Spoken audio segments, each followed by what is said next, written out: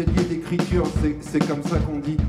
La plupart du temps, euh, je suis pas chanteur, hein, je suis pas la star que tout le monde connaît. non. Comme tous les artistes ratés, on finit soit prof, soit on fait des ateliers.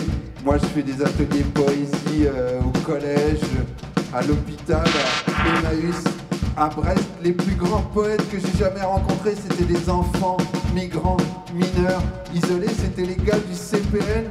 À Nancy, j'ai rencontré les gens, je vous raconte même pas, ça vous déchirait le cœur. Et je suis pas là pour recycler la misère ou la joie de le faire, ou vous raconter ma vie.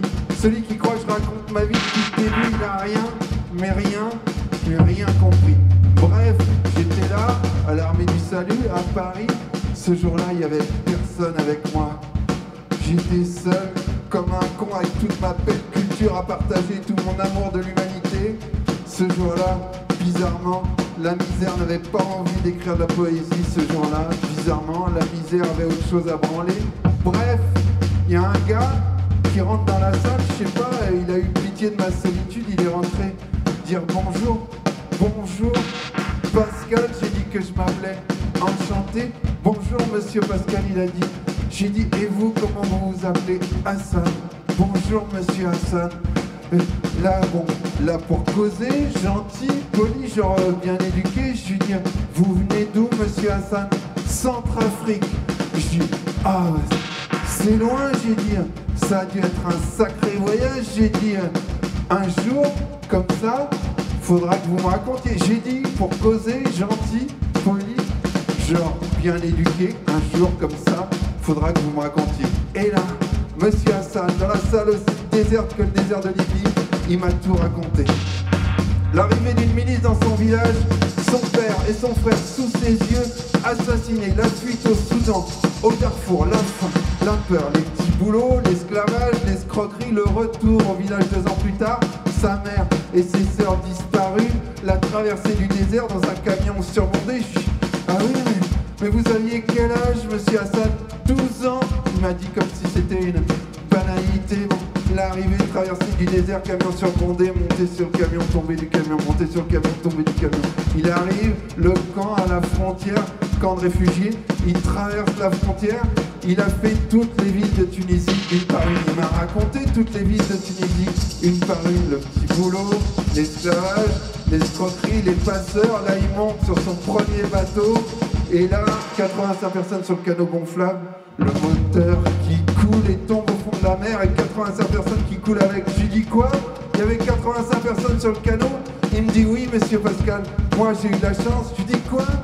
Il a dit qu'il avait eu de la chance. Il dit oui, moi j'ai eu de la chance. Je savais nager, j'ai nagé, nagé, nagé. J'ai vu une bouée rouge. J'ai agrippé, j'ai glissé, j'ai agrippé, j'avais froid, froid. Là, il y a un bateau qui est arrivé qui m'a sauvé. Bon, j'ai travaillé sur le bateau pour payer mon voyage, mais le bateau il était tunisien, alors il m'a ramené d'où je venais.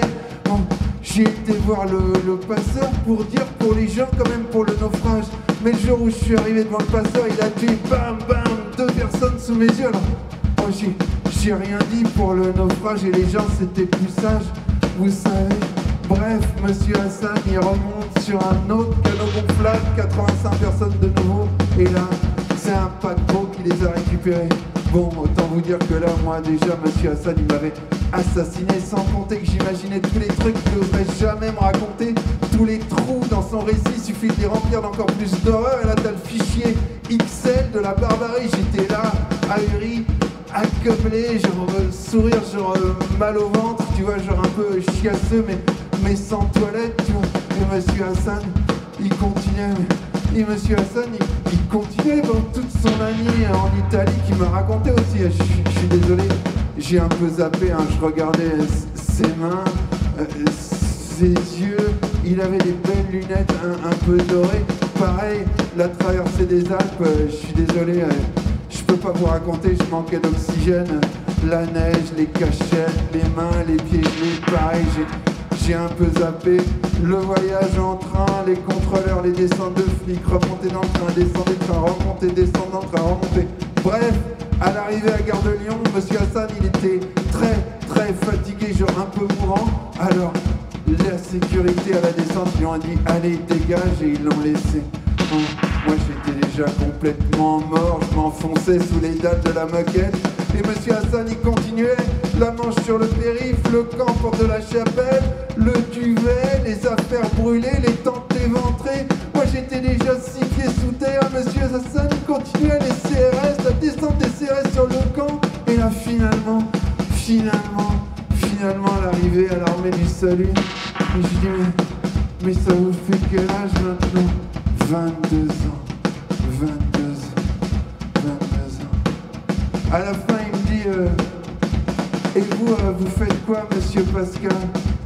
J'ai dit euh, Regardez, ça, c'est de la poésie. Honnêtement, c'est pas impossible que même livide comme j'étais, j'ai un peu rougi. Il me dit ça a l'air bien. J'ai dit Si vous voulez, on peut en écrire ensemble. Et je crois je crois qu'il a eu l'impression que j'essayais de leur faire genre les petits boulots, l'esclavage, l'escroquerie. Il m'a dit non, une autre fois, c'est gentil, une autre fois. Au revoir, monsieur Pascal. Au revoir, monsieur Hassan. Et là, et là, j'ai pris mes petits poèmes et mon petit cartable. Et je suis rentré chez moi. Avec ma petite merde de poésie. Au revoir.